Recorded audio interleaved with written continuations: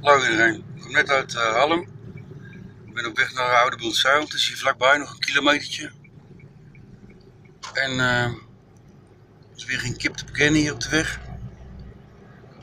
Niet dat ik het erg vind. Maar het is wel heel bijzonder hier de rust. Het is echt uh, bijna niet te bevatten. In Oude Bultzuil, dat noemen ze hier in Friesland volgens mij Oude Ziel. Maar ja, dat is in het Westerbos natuurlijk weer een hele andere betekenis. Wat te schrokken, ik heb het ding in mijn telefoontje in mijn hand. Ik heb natuurlijk geen uh, dashcam of iets.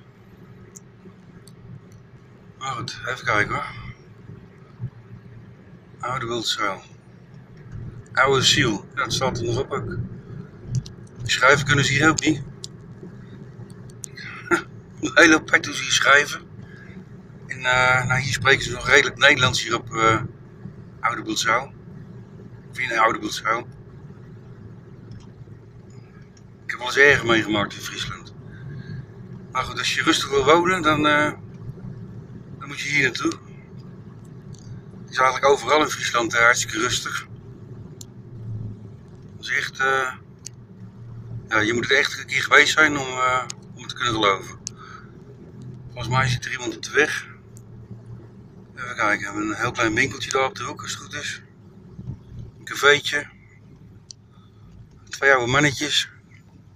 Oh, daar ben ik ook. Ik ben ook een oud mannetje natuurlijk. En volgens mij rijden we er nou alweer uit. Oké, dat was het weer. Tot de volgende keer.